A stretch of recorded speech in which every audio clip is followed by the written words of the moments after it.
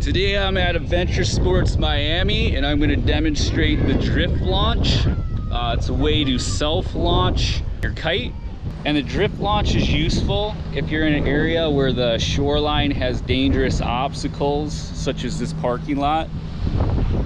We got plenty of hard surfaces, cars and rocks, so it's just safer to do the launch out into the water. First gonna run your lines like you normally would.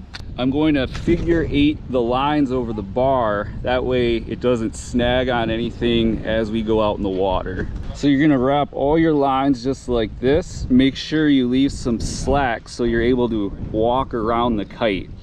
And I'm also gonna secure the end so none of the lines pop off with this uh, little bungee cord if you have one.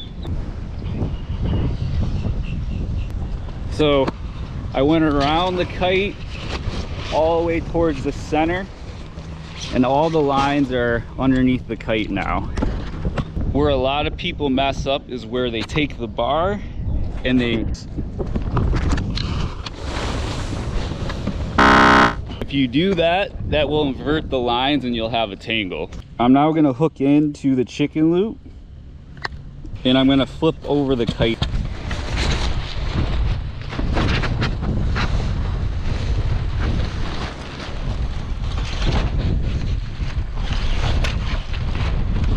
We want all the lines, both the center and outside steering lines on top of the kite as we enter the water. I'm gonna leash into the kite just for some extra security in case I do let go.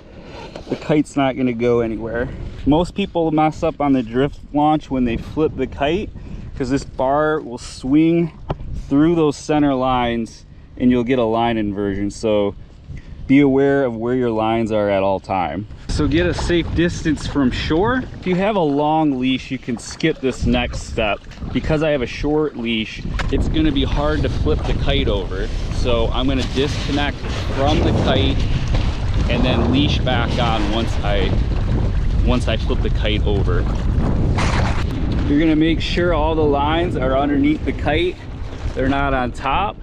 If they are, just lift it up and shake the shake them off the top. Remember, it's very important to stay leashed in at this point.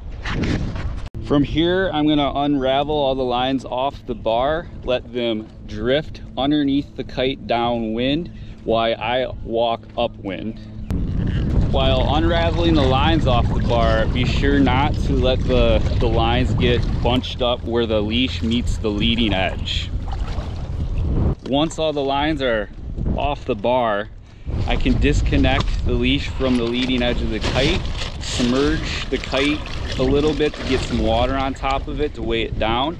That way it doesn't catch wind mid-drift and flip over and cause any line inversions. Be ready to hit the safety release in case an error was made.